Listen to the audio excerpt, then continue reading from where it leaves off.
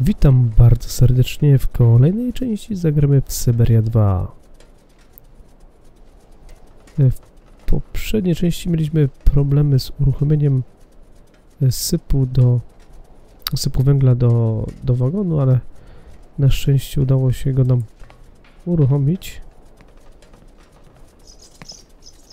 Teraz wyniknął kolejny problem. Wejdźmy tutaj do wagoniku. Szukamy Hansa. Zaginął Hans. Tu go nie ma. Tak. Niestety, ale tu go nie ma. Dobra, to możemy teraz się wycofać. I pochodzimy troszeczkę po tym mieście dziwnym w poszukiwaniu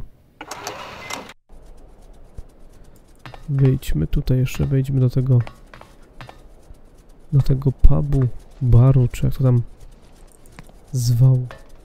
Albo z tamtym Najpierw tu wejdźmy.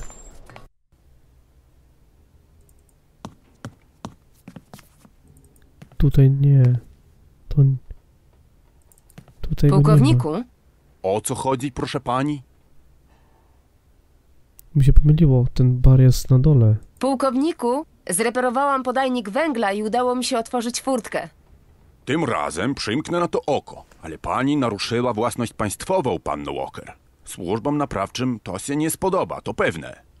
Choć z drugiej strony tak rzadko do nas przyjeżdżają ostatnimi czasy. Ja osobiście nie będę sprawiał pani żadnych kłopotów. Szukam jednego z moich przyjaciół. Czy przypadkiem nie widział go pan w okolicy?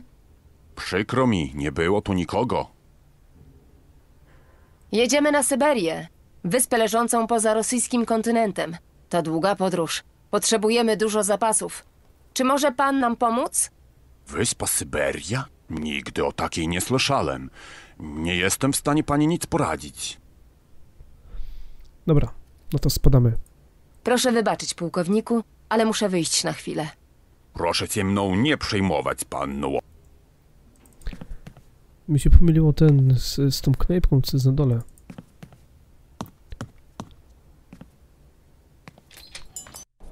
No to także schodzimy na dół, ale najpierw zaczepimy tutaj tego gościa. Kto to jest? Nie zaczepimy, bo się nie da. Także możemy zejść, zejść na dół.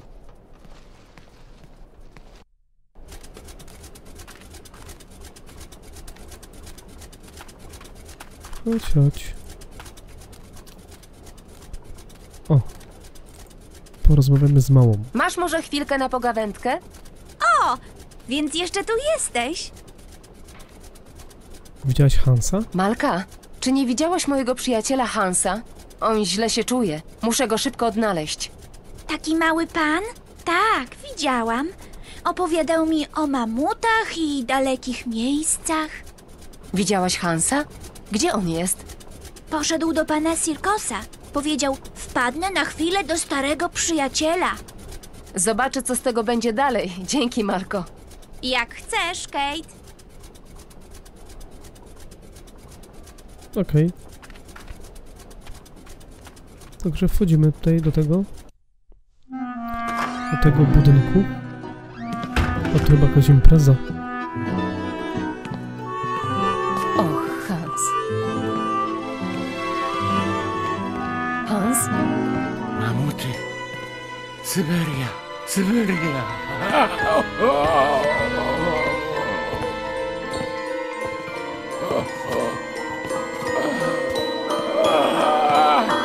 Hans?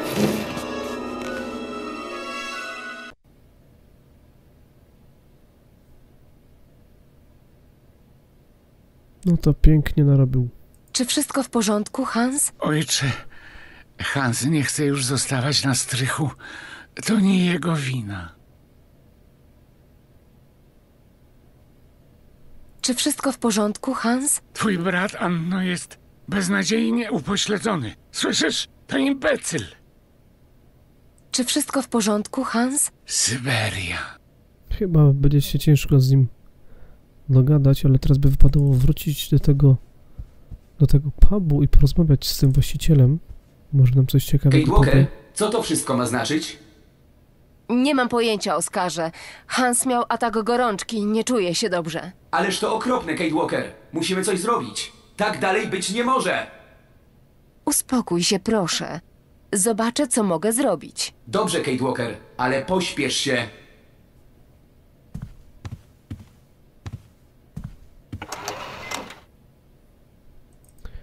Idziemy, idziemy. Mamy drzwi. Wychodzimy. Może teraz uda się zaczepić tego gościa od plakatów. Bo na razie klei plakaty w tym samym miejscu, ale widzę, że raczej z nim nie porozmawiamy. Ciekawe co się stało. Yy, Hansowi. Że on zasłabł. Pewnie ta, ta choroba go męczy. Wchodźmy do środka.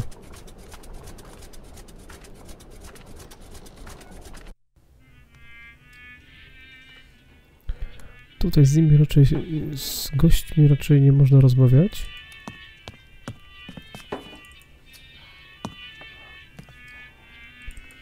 Zobaczmy, co ten nam powie. Witam, panie Sirkos. Dzień dobry, panno Walker. Jak się miewa nasz przyjaciel, pan Hans Vorarlberg? Nie mam dobrych wieści.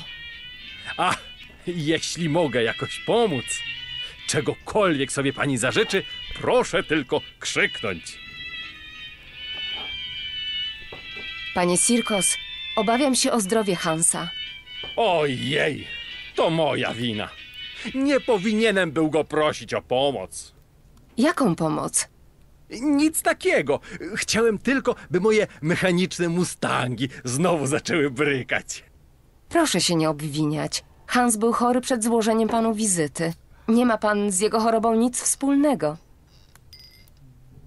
Panie Sirkos, czy nie wie pan, kto mógłby wyleczyć Hansa Wollerberga? O, łapiduchów nie ma tu zbyt wielu, ale zawsze można spytać mnichów. Mnichów? Ludzie powiadają, że patriarcha klasztoru posiada moc leczenia. Mówią też, że jest stuknięty. Fanatyk między nami mówiąc. Cóż, nieważne. Nie mam wyboru. E, pomoc klasztor szata. Panie pomoc. Sirkos, czy mógłby mnie pan przedstawić patriarszę klasztoru? Jeśli mam być szczery, e, lepiej niech się pani trzyma od niego z daleka. A dlaczego? Czy słyszała pani kiedykolwiek artystę i kapłana śpiewających w duecie? Oni uważają mój lokal za jaskinię rozpusty, a mnie za starego, zdziwaczałego heretyka, który odciąga ich owieczki od ołtarza. Panie Sirkos, XIX wiek już dawno się skończył. Ale nie tutaj, panno Walker. Proszę mi wierzyć, lepiej, żebym nie maczał w tym palców. Czy w klasztorze jest telefon? A, tam nawet nie ma elektryczności. Musi się tam pani przejść osobiście, panno Walker. A potem jeszcze przekonać mnichów, by zajęli się pani przyjacielem. Jak dojść do klasztoru? Kiedy pani stąd wyjdzie, proszę skręcić w prawo. Na pewno pani trafi. Wielkie dzięki. Brr, tam jest zimniej niż na biegunie, panie Sirkos. Czy do klasztoru można dojść tylko na piechotę? Może jest tu jakiś środek transportu? Niech pani o tym zapomni, panno Walker. Tam wejdzie tylko kucyk. Obawiam się, że będzie pani musiała wejść na piechotę. Jest za zimno. Nie dojdę do klasztoru w tym stroju. Święta racja, panno Walker. Lepiej uważać przy takim chłodzie. Nie mógłby mi pan pożyczyć czegoś ciepłego, pani Sirkos? Nie będzie to takie proste, biorąc pod uwagę pani mocno odmienne e, wymiary, panienko.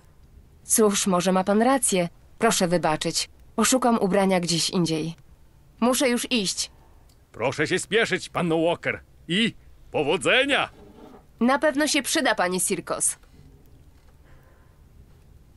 Okej. Czyli naszym zadaniem... Co? Tu możemy jeszcze iść. A nie, tu możemy tylko się zbliżyć do tych Mustangów. Dobra, naszym zadaniem teraz jest y, pójście do klasztoru, ale przy okazji trzeba znaleźć ubranie ciepłe, żeby nam Kate nie zmarzła. Jeszcze tu przed y, knajpą stała ta mała dziewczynka Malka. Może ona będzie mieć jakieś ciuchy Malko? na pozbyciu. Tak, Kate? Mój przyjaciel Hans jest bardzo chory. Potrzebuje opieki. O, on może umrzeć, prawda? Jak mama. Nie wiem. On tak bardzo chce dotrzeć do celu swej podróży. Czasami to nie wystarcza, Kate. Od małego Hans marzył o wyspie zwanej Syberią. Syberii nie ma. To tylko bajka, którą opowiadają dzieciom do snu. A ja już nie jestem dzieckiem. A ja wierzę w tę bajkę, Malko. Więc chyba musisz pomóc swojemu przyjacielowi, Kate. No też taki mam zamiar. Powiedz mi, nie wiesz, kto mógłby mi pomóc wyleczyć Hansa? W barze pana Sirkosa jest wiele specjalnych napojów. Nie, muszę znaleźć lekarza. W takim razie idź do klasztoru. Pewnie w klasztorze mieszkają mnisi. Dokładnie. Mnisi w czarnych habitach. Oni są naprawdę straszni. Ależ ich nie musisz się obawiać. Mnisi to dobrzy ludzie. Więc oni mogą wyleczyć Hansa? Patriarcha to srogi staruch. Nie wyleczy twojego przyjaciela, jeśli nie będziesz przestrzegać ich zasad. A skąd ty to wiesz, Malko? On nie zajął się mamą od razu. Z powodu zasad. I dlatego umarła. Tak mi przykro, Malko. Powiedz mi, Co słychać?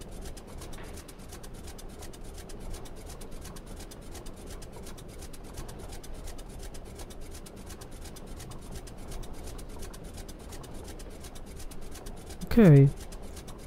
No to pozostaje nam tylko nic innego jak pójść do tego klasztoru. To był ten budynek w tle. Yy, za tym, za, za miejscową, co okradli, okradliśmy yy, dwóch braci z paliwa. To co, że wcześniej właśnie przyglądał się temu temu budynkowi. To było tu, na tej drodze. Tak mi się wydaje właśnie, to jest to. Tak mi się przynajmniej wydaje, że to jest ten klasztor. Idziemy zobaczyć. Innego wyjścia nie ma. Cóż tutaj jest? To nie działa. Nie działa, co? Tu trzeba coś rzucić. Mamy monety. Nie bardzo. Rybne cukierki? Lepiej sprawdzić i się upewnić. Idziemy dalej.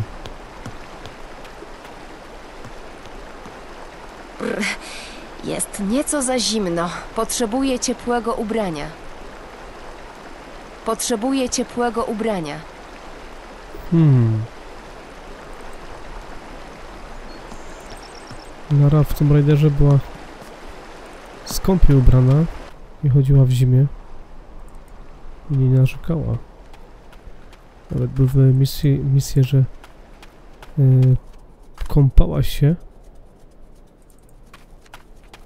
Była w stanie to przeżyć, także Kate, proszę, nie narzekaj.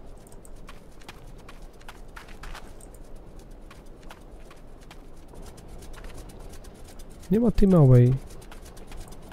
Jeszcze raz może pójdziemy do tego cirkusa. Jest mała. Jeszcze raz pójdziemy do cirkusa, pogadamy z tą małą, może nam coś powie ciekawego. Powiedz mi, Co słychać? No nic. powiedz mi. Co słychać? A może chcesz rybne cukierki? Też nie chcesz. Monet też nie chcesz?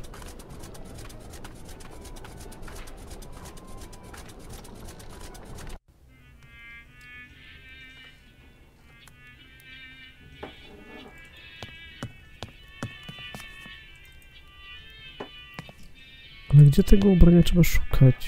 Panie Sirkos? Czym mogę służyć, panienko? Malka. Proszę mi powiedzieć, panie Sirkos, czy to pan zaopiekował się Malką? Nie mogłem kruszyny zostawić tak na bruku. Co się stało z jej matką? O, cyganka, zajmująca się, Bóg raczy wiedzieć czym. Przyszła tu półmartwa i szalona z gorączki. A mnisi jej pomogli, prawda? E, można i tak to ująć. Gdy wreszcie przestali być tacy nadęci, zabrali ją do klasztoru na leczenie. Ale dla tej biedulki było już za późno. To stado wron wymyśla najdziwniejsze zasady. Zostawiliby człowieka, by zgnił prędzej, niż pobrudziliby swoje świetne habity. Nie znoszę ich, panno Walker. Jakie zasady ma pan na myśli? To głupi stary obyczaj. Aby zadecydować, czy umierający w ogóle umiera, patriarcha klasztoru spogląda na twarz pacjenta, zanim powie ta lub nie. Jak to? Nie rozumiem. Zakonnicy w jakiś sposób tworzą odbicie twarzy pacjenta na kawałku tkaniny. Coś podobnego do całunu turyńskiego. Muszę przyznać, że nie bardzo rozumiem tę historię z całunem. Tuż za miasteczkiem mnisi postawili coś w rodzaju metalowej skrzynki. W niej znajdują się lniane kawałki tkaniny. Jeśli położy pani tkaninę na twarzy chorego człowieka, w dziwny sposób pochłonie jego pot i inne płyny. Dzięki temu obraz jego twarzy pojawi się na lnie.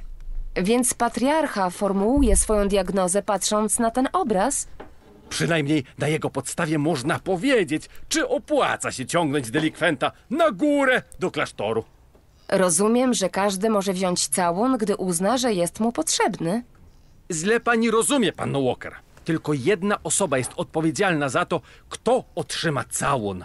Jest nią Malka. Jest dumna ze swej funkcji. Patriarcha osobiście powierzył jej to zadanie. A ta mała wywiązuje się ze swej roli. Niech mi pani wierzy. O, może nam pomoże Malka. Czy w pańskiej teatralnej garderobie nie znalazłaby się ciepła odzież dla mnie?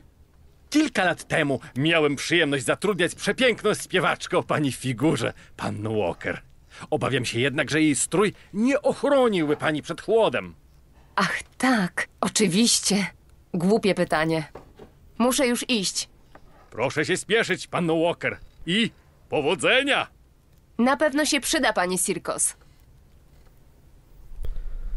Dobra, teraz chodźmy do Malki. Może, no się mam nadzieję, że Malka nam pomoże i udostępni nam jeden całun,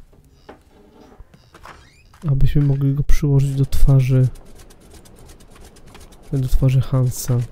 Powiedz mi, Co słychać? Klasztor. powiedział mi, dlaczego nie mogli wyleczyć jej w klasztorze. Tak, Kate. Czasami ludzie są tak ciężko chorzy, że nie można ich wyleczyć. A czy twój przyjaciel jest ciężko chory? Mam nadzieję, że nie. Pomogę ci.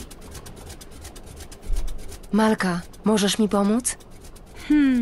Jeśli Powiedziała, twój że tak. przyjaciel jest trochę chory, to trochę mogę, byś się nie smuciła. Spójrzmy. Może spróbujemy. Wiesz, tak jak z twoją mamą i mnichami. Po drodze do klasztoru stoi skrzynka z lnianymi płachtami. Mnisi nazywają je całunami. Dam ci żeton, byś mogła wyjąć jeden. To bardzo ważne, Kate. A co potem mam zrobić z całunem? Weź go i połóż na twarzy twojego przyjaciela. Dobrze, spróbuję.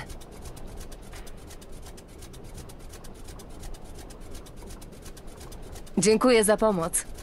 Wróć do mnie jeszcze. Lubię cię, Kate. Na pewno do ciebie wrócę, a podarowała nam żeton. Pewnie żeton do tej maszynki.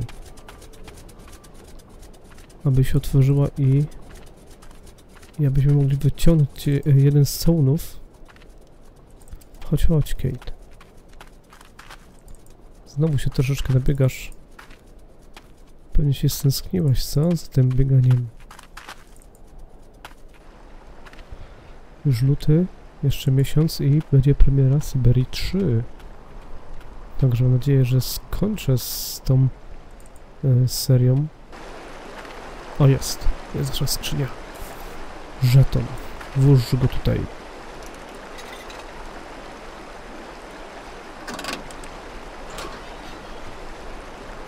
Ale teraz mogę wziąć więcej niż jeden całun.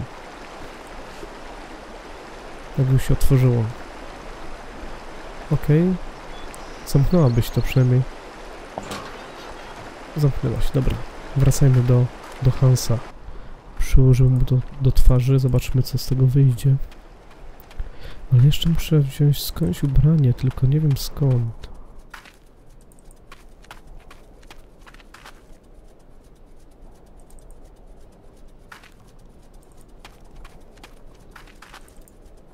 Chodź, chodź.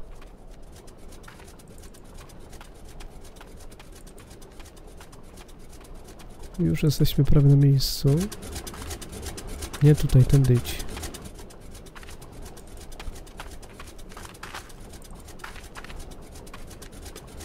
I do góry.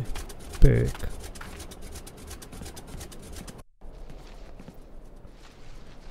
Co to za gość? Cały czas w tym samym miejscu stoi.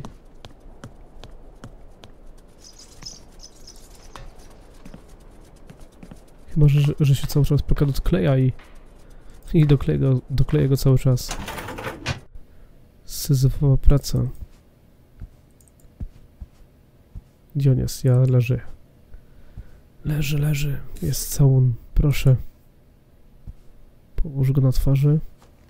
Zobaczmy, czy jest tak jak mówią. Ciekawe, czy się odbije twarz. Czy będzie widoczna?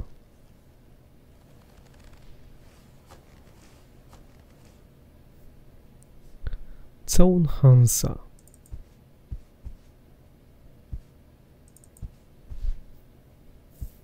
Jeszcze może byśmy podbiegli do tego, do naszego pułkownika. Może on będzie miał jakiś ciuch na pozbyciu, który nam się przyda. I najlepiej, żeby był ciepły. Żebyśmy czasem nie zamarzli po drodze.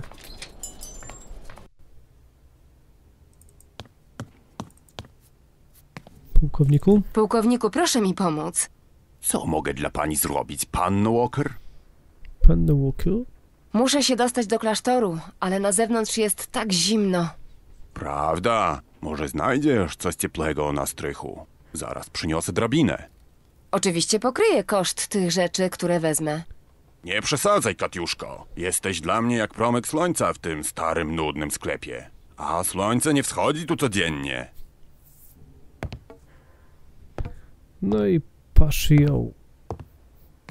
Na strychu z pewnością znajdzie pani coś dla siebie.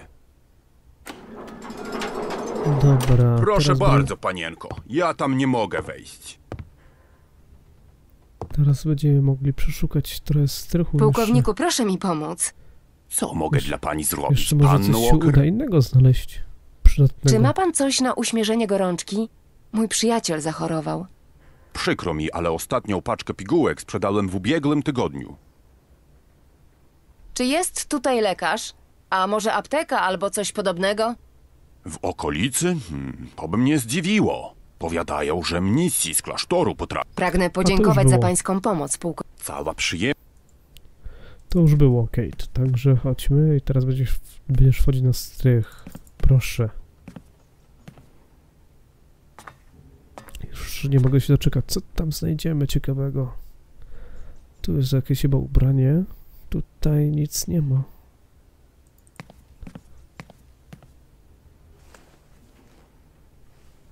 Teraz, Dobra, gdzie znaleźć miejsce, by się w to przebrać? Zimowa odzież, super. Super, super, możemy teraz zejść. Ja wiem, gdzie może. Tu, w sumie tu mogłabyś się przebrać i tak by cię nikt nie zauważył. A pułkownik raczej po drabinie by nie wszedł bez nogi. Przynajmniej miałby ciężko. Wejdźmy do pociągu. W pociągu mieliśmy łazienkę. Może łazienkę wykorzystamy do, do najszych przebieranek. Chodź tu, chodź. Nareszcie, choć odrobina prywatności. Ciepło i nawet przyjemnie. No proszę, już przebrana. Czyli możemy iść teraz do tego klasztoru chyba. Żeby pokazać im, pokazać im ten całun.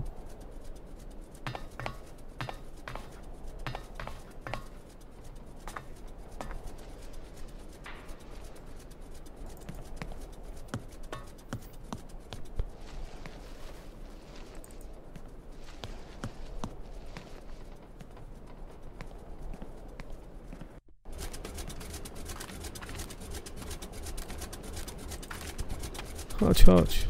Kate. A, zaczepmy jeszcze malko. Powiedz mi, Co słychać? Okej, już nic. Już nic.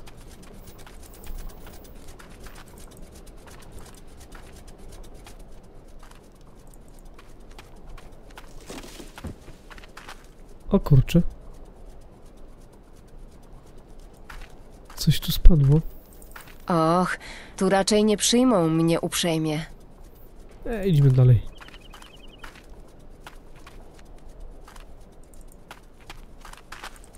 Zatarasowane. Nie lubią nieproszonych. Nie lubią nieproszonych gości, co? Idziemy. Zobaczmy, czy teraz przejdzie przez mostek nasza Kate.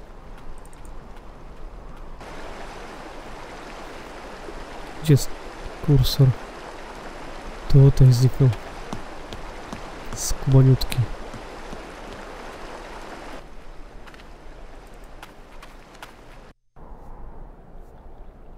I co już? Jesteśmy na miejscu? Kurde, ten klasztor jest taki jakiś potężny.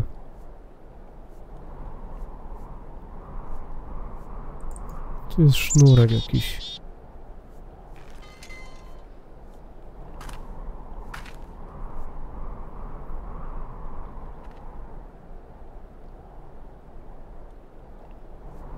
Spoko.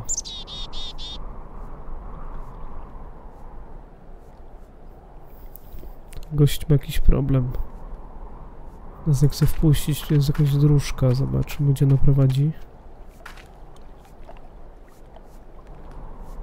Nic, nic tu nie widać.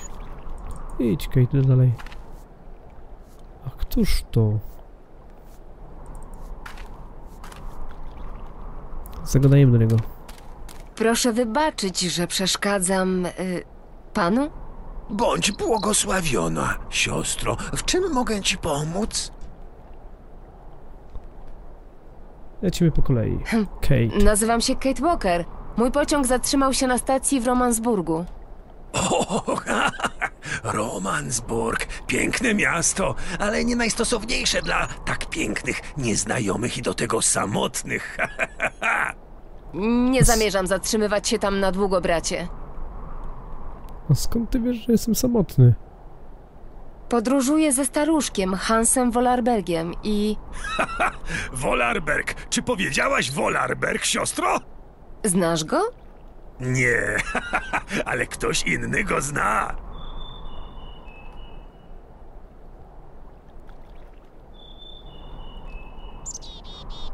A, słyszysz? To przepiękny trel Meruli Alby. O, gdybym tylko mógł na nią spojrzeć.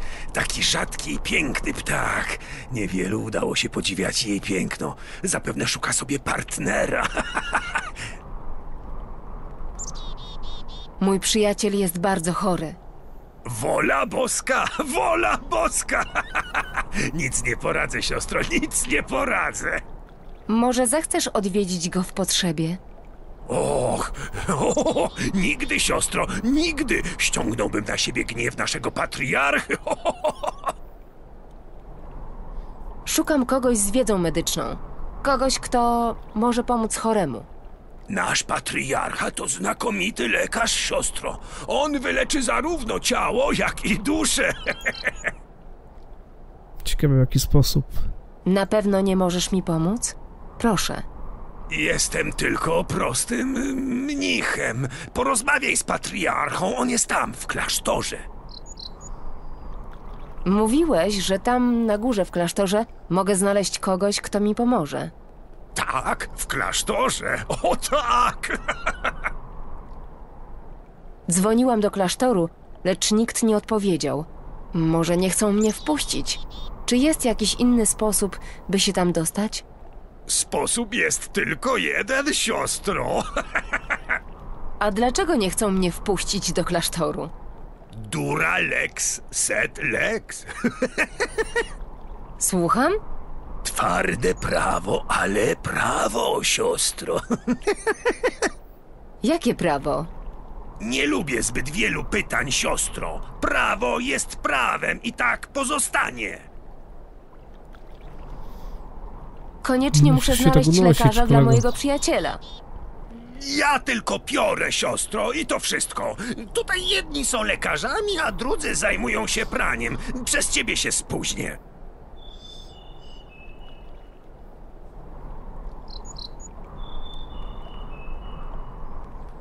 Słyszałaś? To znowu Merula. Jak Klasztor. sądzę, mieszkasz w klasztorze. Tak, siostro. A wielu was tu żyje? Kilku starych mnichów. Niewielu czuje powołanie w dzisiejszych czasach. Powiedz mi, a jak można się dostać do klasztoru? O właśnie. Pociągnij linę dzwonu, siostro, ale niezbyt silnie, bo wystraszysz ptaki. Nie strasz, zakonnik cię wprowadzi. Dziękuję. Tak? A jeszcze raz Mhm. klasztor. Zadzwoniłam dzwonem, ale mnich u wejścia nie chciał mnie wpuścić. Są zasady, zasady i tradycje, których się tu przestrzega, przestrzega. Jakie zasady? Co to za tradycje? Takie, że niektórzy ludzie są mniej warci od innych. No to piękne A w zasady. jaki sposób mnich stojący tam na górze może ocenić czyjąś wartość jedynie patrząc? To jest. To. Nie wolno pytać o takie rzeczy, siostro. Co to jest Merula Alba? Rzadki ptak. Nie można go zobaczyć, bo jest biały jak śnieg. Powiadają, że gdy człowiek go zobaczy, jego umysł się oczyszcza i rośnie intelekt. Wokół jest tyle ptaków. Tak, tak, ale mnie interesuje tylko Merula Alba. Sugerujesz, że nie jestem godna tego, by wejść na teren klasztoru? Tak, nie powiedziałem. Nie, ja tylko. Ja tu tylko piorę brudne rzeczy, to wszystko. Nie, ty właśnie to powiedziałeś. Zasugerowałeś, że nie jestem godna.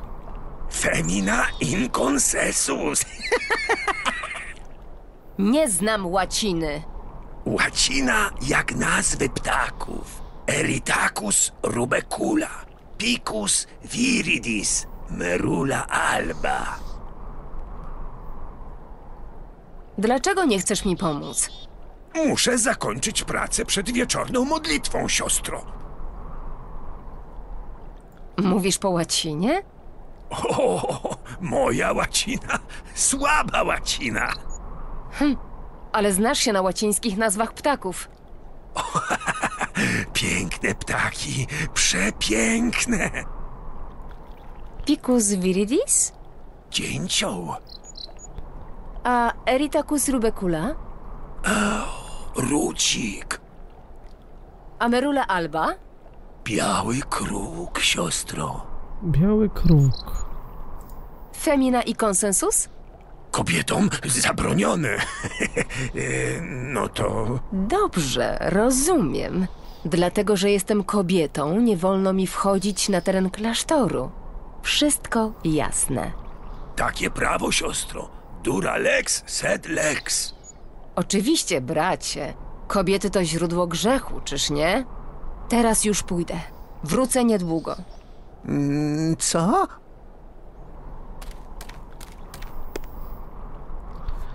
No dobra, no i co teraz mamy zrobić? Nie pozostaje, nie pozostaje nam nic innego jak stąd iść. No bo co, do góry nas, nas nie wpuści. Musimy coś wymyślić z naszym... przy naszym pociągu pewnie. Jest coś do zrobienia. Chodź, chodź, Kate.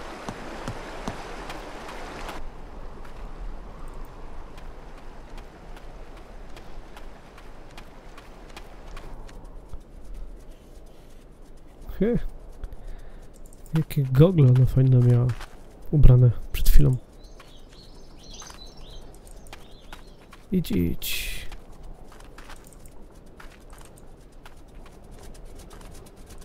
Nie ma tej, Malko? Jest, Malko, jest. Pogadaj z nią, Kate.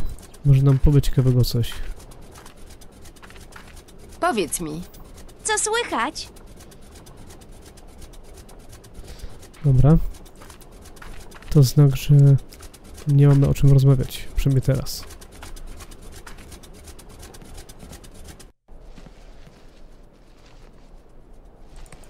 Ty nam też nie pomożesz? A może nam pułkownik pomoże?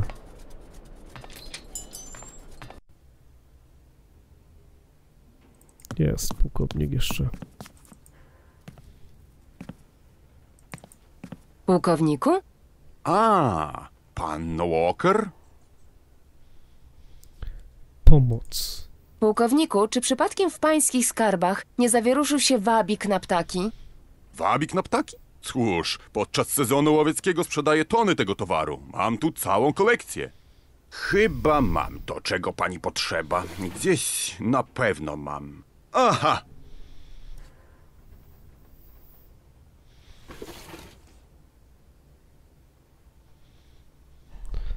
Nie musisz upłacić? Przed nami ciężka podróż, a mój przyjaciel... O tej porze roku na Syberii Pragnę podziękować za pańską po... cała przyjemność. Dobra. Zobaczmy, co tu mamy. Mamy srebrny wabik na ptaki, złoty wabik na ptaki, czarny wabik na ptaki. Czy to jest... Jeszcze raz. Zzz. No i co? Nie możemy sprawdzić? Na przykład interesuje, dlaczego jest srebrny wabik. Hmm, dobra. Idziemy z powrotem do tego klasztoru. Po, pobawimy się troszeczkę tym wabikiem.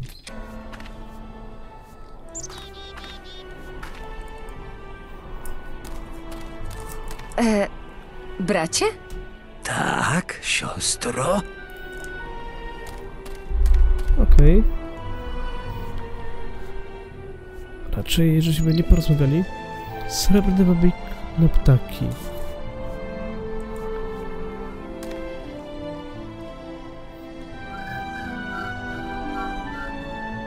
Zamierzasz to zwrócić? Kiedykolwiek? Dobrze, nie. To był nie ten wabik, co trzeba. Weźmy teraz czarny.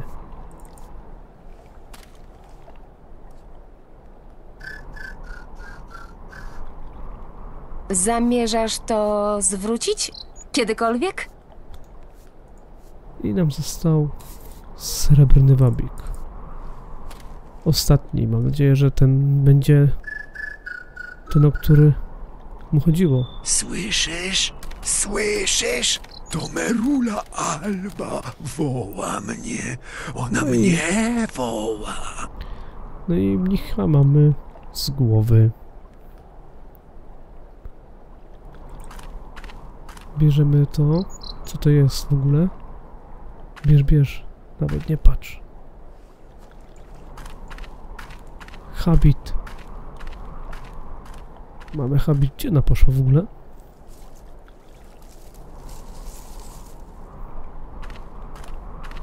A, poszło się przebrać. Cwana. Dobrze to wymyśliła. Także chodźmy zobaczyć, czy uda się uda się w, w, dostać do tego. do tego klasztoru.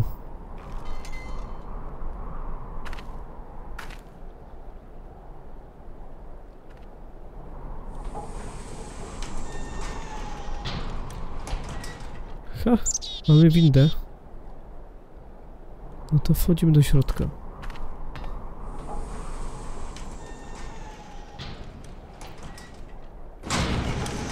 Ten klasztor to też chyba będzie jakaś taka większa lokacja.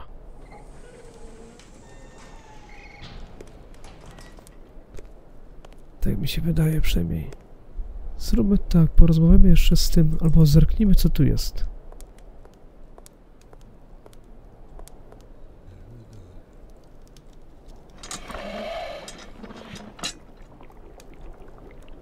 Okej.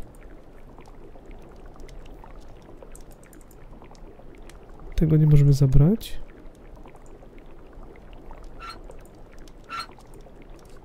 Zapałki. Potrzebuję czegoś jeszcze, by to uruchomić. Potrzebuję czegoś je... Aha. Kolejna zagadka. Pogadajmy tym z tym gościem teraz. Hmm, dobry wieczór. Widzę, że nie jest rozmowny. Tu możemy iść? Tak, tu możemy iść, ale to mi się wydaje, że e, pozwiedzamy to w następnym odcinku.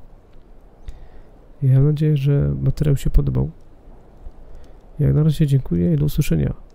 Bye.